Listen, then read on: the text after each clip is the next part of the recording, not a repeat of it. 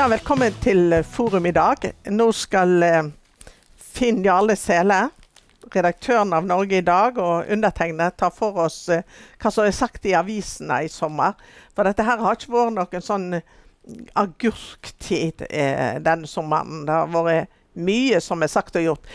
Eh, og vet du hva jeg tenkte, Finn Jarle? At vi skulle begynne med eh, Finansavisen.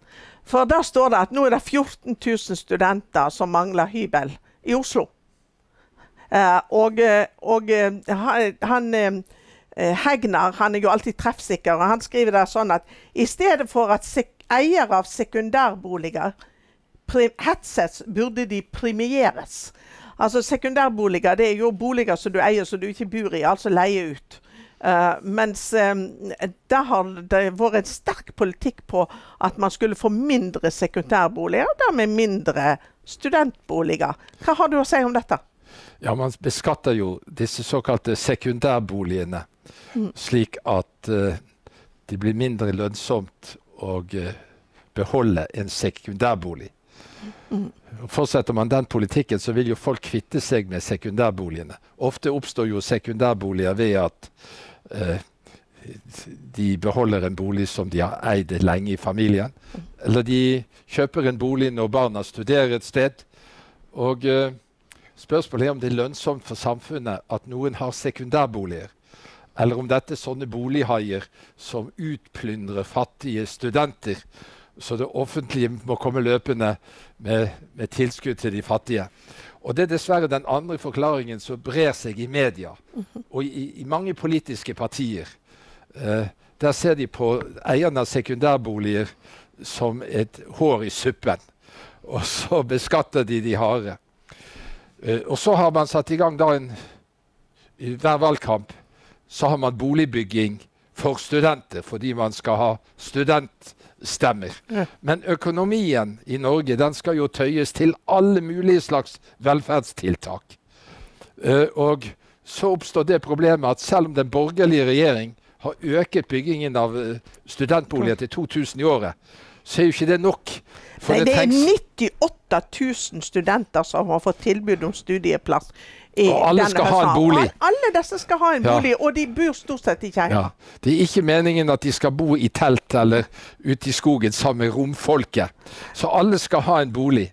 Så det at sekundærboligmarkedet det er jo helt avgjørende. Mm. Og dette blir akkurat som med veibyggingen. Hvor lang tid vil det ta før vi får en kjørbar vei mellom Oslo og Bergen? Altså Med kjørbar definerer vi da som to felt i hver retning. Korketrekkeren er utrettet, det midtskille, og du kan holde høyere hastighet. Komme på fire timer til Oslo istedenfor på åtte eller ni timer. Altså, Du definerer det som en kjørbar vei. Eh, og da er saken det at når de bygger har, når de bygger under en mil sånn kjørbar vei på, det, på den strekningen øst-vest hvert år, så tar det over 50 år. Og Dette er lett å regne med sekundærboliger også, fordi at, og, og kontra statsfinansierte studentboliger. For med, med det tempoet som de har nå, så er det jo klart det at uh, om de bygger et par tusen, og der kommer uh, og der er 14 12 000 studenter som ikke har noe bolig i utgangspunktet. Og det kommer 98 000 studenter generelt til hvert eneste år. Så, så er det jo klart at uh, det kan lett ta 50 år før en har løst det ved hjelp av studentboligbygging. Og da er mange av de førstbygde helt ruiner. sant? Så dette, det, det skal vedlikeholdes. Skal vedlikeholdes På Fantoft der skal de jo nå rive en av ja. de gamle studentblokkene og bygge ny. For det varer jo ikke med sånn bruk, hard bruk som man har, ne. så varer det jo ikke mer enn 30-40 år. Og det er like dyrt da også og så rive og bygge nytt som å vedlikeholde. Altså, det Hegnar skriver, og der jeg er helt enig med han i, er at løsningen og redningen er det private utleiemarkedet. Og hvis vi ikke prioriterer det, eller legger til rette for at det skal være et sånn privat utleiemarked, så blir det dyrere for studentene. Dyrere for de som må være på leiemarked, som alltid vil være noen. Fordi at man flytter, fordi at man ikke har råd, fordi at man er i etableringsfasen. Så eh, man må altså legge til rette for at de som vil og kan kjøpe en nummer to-bolig for utleie, at de får det. Og at det blir lønnsomt. For hvis det ikke er lønnsomt, så får man det ikke. Det private tilbudet holder jo prisene nede. Ja. Eh, Ja. Hvis det er skikkelig utbud på det private eh, utleiemarkedet, så holder de jo prisen i sjakk. Ja. Det holder de på et beskjednere nivå. Kutter du sekundærboligene, så vil jo prisene på, på hybler gå opp fordi det er så lite tilgang. Det er bare 20% som dekkes av offentlige eh, studentboliger. Ja, så blir det for vanskelig, eller blir det for dyrt, eller betyr det avgifter til å leie ut et rom eller en kjellerleilighet, eller sånn, så står han faktisk tom. Og da blir det veldig dyrt for de som trenger en bolig. Eh, beklager. Sånn, Så- regjeringen burde forstå Slutt med den negative beskatning av sekundærboliger. Ja. Oppmuntre og premier, premier folk som har sånne boliger, istedenfor å gjøre det motsatte. Ja. Det tjener studentene på. Vi går til et litt eh, eh, Og skattebetalerne. Ja, For eh, du har de boligene i det private markedet de er gratis for skattebetalerne. Mens de som skal bygges for egne for studenter, det er ikke noe lønnsomt prosjekt. Nei. Eh, Det er som regel noe som skattebetalerne må svi for. Ja, og subsidiere. Eh, men vi skal gå over til et ord fra Jerusalem. Der er du, eh, du redaktør. Og det er ei avi- gratisavis som du bør helde sammen med Norge i dag. For her er det Son av Hamas. Altså eh, som, som uttaler seg. Og han sier at Israel er ikke problemet, men løsningen i Midtøsten. Nå, eh, nå vil jeg referere litt til det Ja. han sier. Mosab Hassan Yousef er ikke opptatt av at palestinaraberne skal få sin egen stat, men at de skal få utdanning og Ja. økonomi. Det er helt klart. I meg bor et palestinsk barn, sier han.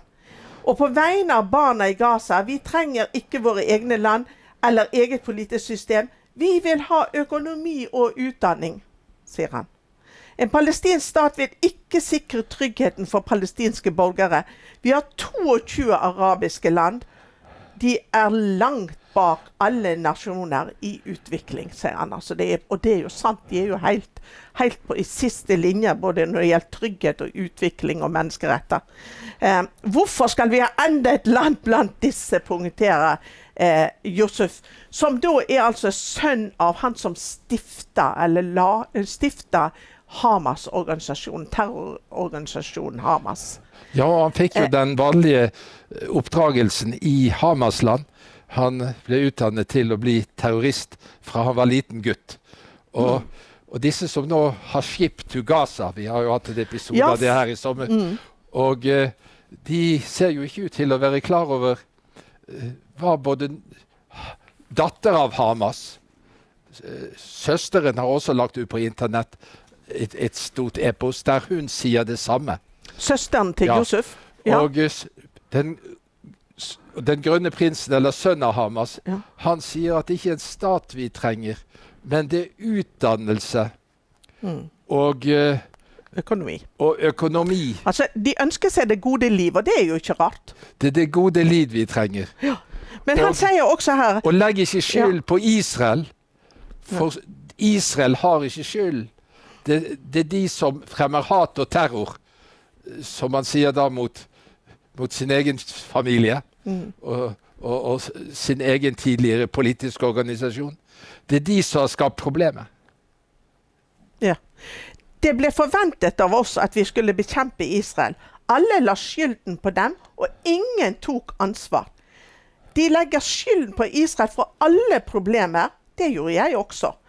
Gjennom samfunnet vi var i, ble Israel djevel, fortalte Mossab. Altså, og Og nå har en altså skip til Gaza. Ja, for de òg sier jo at norsk- Israel har skylda. Altså, Israel har skyld, og vi må bryte blokaden og oppheve okkupasjonen. Men hvis de var interessert i å få mer eh, toalettartikler og mat og, og greier til Gaza, så kunne de gå inn til Ashtod og be israelerne å De slippe det kunne fått en utmerket avtale Ja. med Israel. At de hadde tatt det gratis den siste veien inn i området. Og det er jo klart at her er jo intelligente mennesker som leder skip til Gaza. F.eks. Uh, Ja. en fremragende mann fra Rødt i Bergen. Eh, Dale. Han, Ja. han Torstein jo, Dale. Torstein Dale er en skikkelig intellektuell. Mm. Så han skjønner jo selvsagt problemstillingen. Altså, blokade av uh, Gaza har vi fordi terrororganisasjonen Hamas, som styrer Gaza Det er ikke okkuperte områder heller. Det er i så fall okkupert av Hamas. Mm. Uh, det kan vi vel si at det okkuperte Hamas, men Israel trakk seg ut i 2005. Så hvordan de kan snakke om å heve okkupasjonen i 2018 når Israel uh, har trukket seg ut for lenge siden altså, de, skal ha sitt, de skal ha sitt eget område. De skal ha sitt eget område, de skal bestemme seg sjøl. Men de skal ha full adgang til den israelske staten man har jo en gang, man har jo ikke full adgang til den norske staten hvis man kommer fra Gaza. Jo, Israel leverer jo elektrisitet og vann og sørger ja. for at alt går punktlig. Skulle disse her ha levert det, så hadde det blitt mange brudd på vann- og strømforsyningen i, i, i, i Gaza. Ja, og Det går jo haugevis av lastebiler med mat og forsyninger inn til Gaza hver eneste dag fra Israel. Jeg er ikke sikker på at det går så mange fra Egypt, for det kunne jo like godt gått der. Og hvis de ville, så kunne de jo fått en avtale med Egypt. Nydelig, så hadde de òg Et nydelig samarbeid sakene. med Israel og Egypt ja. for å få inn mat og medisiner. Uh, og der er jo ingen okkupasjon. Det er ikke intellektuelt å si det. Det er villedende, mm. I, for å si det. Uh, kanskje en historieforfalskning. Uh, og når det gjelder blokaden, så er jo den forårsaket av den krigen som Hamas permanent har erklært mot Israel.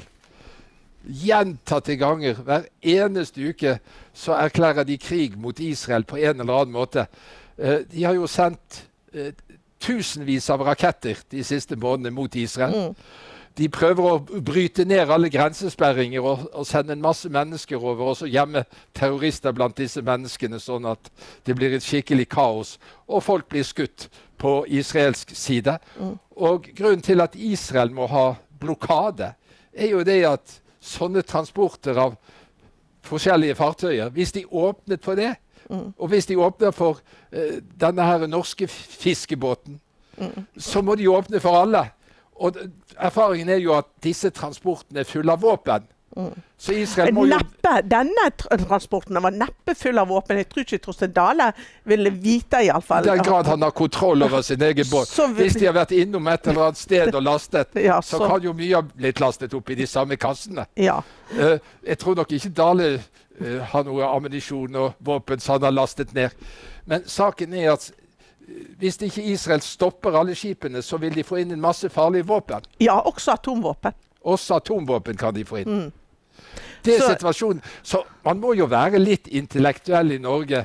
Og, og ikke bare leke tanker, man må jo også tenke. Ja. Så kjære Torstein Dale, du må tenke litt nøyere gjennom det du gjør. Du Han har kapasitet. Hvis du hadde behov for å levere nødhjelp, det er ikke så veldig mye nød, men kanskje litt. Hvis du hadde behov for å levere nødhjelp, så kunne du gjort det. Men du kunne ikke I godt samarbeid med israelske ja. staten eller Egypt. Eller Egypt, ja. Men du, vi må gå videre, for dette, vi har jo også Blokaden er helt nødvendig. Ja. Og det er ingen okkupasjon. Eh, vi må gå videre til Norge i dag. Slik står snart Forum strålende ferdig, har du skrevet på en lederartikkel i sommer. Eh, er du sikker på det? Ja, du må holde opp. Det er flotte bilder av Forum. Ja da. Her Forum Slik står snart Forum strålende ferdig. Ja. Og det er historien om en 80-åring og alle de andre som har gjort dette mulig. For mm. det er jo et eventyr at Visjon Norge og Norge i dag uten penger har, og, har kunnet finansiere nye forum på et nivå som vil kunne konkurrere med Grieghallen. Mm. For en rimelig penge. Og, og, og, og, så ble vi jo økonomisk boikottet av banken. Ja. Fordi at vi skulle jo få undertegnet det lånet som var 100% sikkert. Dagen etter pengepredikanten, som handlet om Visjon Norge og litt om Norge i dag, mm. ble, ble sendt på NRK.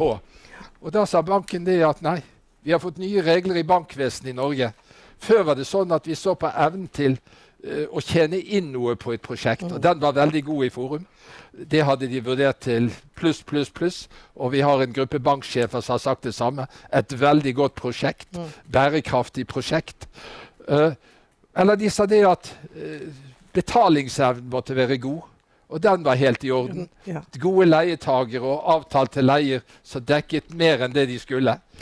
Og, og det var sånn at egenkapitalen skulle være god i gamle dager når du skulle låne noe. Men det teller ikke lenger. Ikke betalingsevne, ikke lønnsomhet og ikke egenkapital. Alt kommer an på omdømme.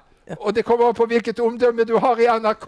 Men Så det er NRK som bestemmer hvem som kan få lån i Den norske bank. Ja, det hele er helt- den, Den norske bank, be for Den norske bank. De er kommet ut og kjøre. Men eh, det som er gledelig nå, er at vi faktisk med private lån og private eh, tilskudd òg til, eh, til eh, Forum, så vil det stå skinnende klart eh, før jul.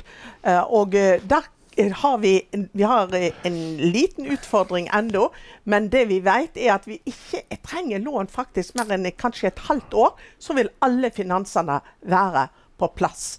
Eh, eh, og dersom du som hører på kan tenke deg å låne 100 000 eller 1 million eller, eller 5 millioner, så er det akkurat det vi trenger. Vi er kanskje i manko på 5 millioner. Eh, og det er ikke mye, for vi har klart å, da har vi klart å skape 53 millioner for å bygge nye forum. Eh, Uten noen bank. uten noen bank. Bare ved hjelp av Jesus og hans venner. Ja, og der er der du kommer inn. Hvis du er en sånn venn som kan tenke deg å låne til Norge i dag eh, med 3% rente i et halvt år eller et år. Dobbelt så mye som i DNB. ja, dobbelt så mye, så er vi veldig eh, glad for det. Fordi at det vil hjelpe oss til å lage forum så skinnende som vi ønsker det ved åpning. Eh, mange har gjort det, eh, og, vi, og, det, og det går veldig godt. Det ruller som bare det. Eh, dette er hyggelig. Eh, så vi, nå har vi vist altså at det går an uten, uten bankene sin hjelp. Men Eh, men det er jo en alvorlig situasjon. Rett skal være rett. Vet du hva, jeg vil bare si det at Vi Hvis du vil vite mer om Forum, hvis du vil høre hvordan dette her går, for det blir et fyrtårn for kristen virksomhet i Bergen, og det blir eh, Og det landet. Blir, ja, og, Og landet. Norden. Og det blir også en, en kulturinstitusjon i Bergen. Vi bringer Forum tilbake igjen til folket. Det er nydelig. Men hvis du vil vite mer om dette, så må du nesten holde Norge i dag. Og da må du ringe 55 92 29 00, så får du Norge i dag fem uker gratis. Eh, eller hva som helst. Du finner alle. Tida vår er gått. Ja. Ja. Vi kan ikke holde på. Vi må på invitere til åpningsfesten. Ja, gjør det, da. Full 10. på desember. 30 på en halv time. 10. desember er den dato som nå ligger. Ja. Da er folk invitert fra nord og sør, øst og vest til den store jubileumsfesten. Vi skal feire Israels jubileer, altså jubelår. Det har vært to jubelår i Israel. Og ambassaden ble flyttet. Israel var 70 år og blomstret som aldri før. Ennå det bare hadde fiender. Det er et Guds mirakel. Men det hadde også venner. Ikke minst vekkelsesfolk og kristenfolket rundt omkring i verden, som blir flere og flere. Og så er det jub jubileum fordi Forum er ferdig. Nye Forum er ferdig. Ferdig, Og. Bergens befolkning har spurt seg eh, kan det la seg gjøre. Og nå er vi glad for å si til Bergens befolkning det har latt seg gjøre, så velkommen til nye forum. Store og små. eh, alle forskjellige grupper og organisasjoner. Og vi må ha en virkelig stor åpningsfest eh, med alle samlet. Og selvsagt blir jo også banksjefen i DNB invitert. Han skal ikke bli utestengt fordi han stengte oss ute. Nei. Det skal gå en personlig gullkantet innbydelse til disse banksjefene. Ja. I Jesu navn. I Jesu Så, navn. så det blir en, en fest med masse aktører fra inn- og utland. Og uh, først og fremst skal vi, skal vi takke og be. Og, uh, og, og vi skal feire, bare feire at noe er ferdig. Et praktbygg i Bergen som bergenserne har et helt spesielt forhold til. Ja, og så blir det sikkert Syng jula inn i, fordi at det I er uken. desember i denne uken. Absolutt. Ja. Så eh, takk for at du så på Forum i dag, og nå får du spikerskåret. Hver uke får vi rapporter fra den verdensvide vekkelsen. om menn og kvinner som blir frelst og tar imot Jesus over hele landet vårt. Les historiene i avisen Norge i dag. Bestill på 55 92 29 00. Bestill i dag. Velkommen til Speakers corner. Vi skal i dag stille et spørsmål som opptar mange. Hva er multikulturalisme? Mange etterlyser en definisjon av dette ordet som ofte blir brukt. Multikulturalisme. Vi har fått en immigrasjonsbølge inn over Europa. Og eh, mange snakker om at løsningen, harmonien og integreringen, den kan eh, komme på plass ved hjelp av en ideologi som heter multikulturalisme. Så er det en del forskere som spør er multikulturalismen egentlig bare et kulturelt selvmord. Hele den multikulturalistiske argumentasjonsmåten er det en måte som uh, vi tar livet av Vestens frihet og verdier på? Dette er jo viktige spørsmål, og man er slett ikke enig. Jeg husker at uh, når jeg deltok på det meste uh, uh, i TV-debatter i TV 2 og NRK i, frem gjennom forskjellige tiår, så ble jeg alltid stanset hvis jeg prøvde å nevne en forsker som var den fremste i statsvitenskap ved Harvard, som virkelig gjorde statsvitenskapen til en, et innslag av statistikk og, og undersøkelser og facts, nemlig Samuel Huntington. Han skrev en berømt bok som het 'Sammenstøt mellom sivilisasjoner'. The Clash of Civilizations and the Remaking of the World Order. Og eh, uh, endringen av uh, Eller vi kan si gjenfødelsen av verdensorden. Og denne boka den, den kom med helt nye synspunkter. Den sa det at multikulturalisme er kulturelt selvmord. Tar vi f.eks. bort de kristne verdier som multikulturalismen har holdt på med, for å erstatte det med Frankfurterskolens forskjellige verdier på ekteskap, kjønn, eh, barn, samfunn Tar vi bort disse kristne verdiene, så, så tar vi bort eh, vestlig sivilisasjon. For enhver sivilisasjon har sine kjerneverdier, sier han. Og Vestens sivilisasjon er bygget på de kristne kjerneverdiene.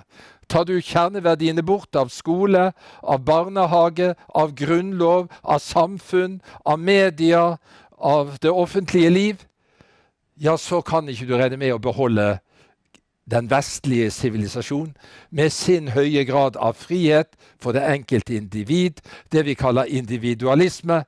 Da vil du komme over i andre sivilisasjonsformer som legger mer vekt på det kollektive, har større innslag av tvang, mindre innslag av individualisme, og kanskje helt annet syn på arbeidsetikken. For, sier Samuel Huntington, du kan ikke ha Sverige uten den svenske arbeidsetikken som går tilbake til Sveriges gamle lutherske oppdragelse som et eh, protestantisk land med gudsfrykt og nøysomhet.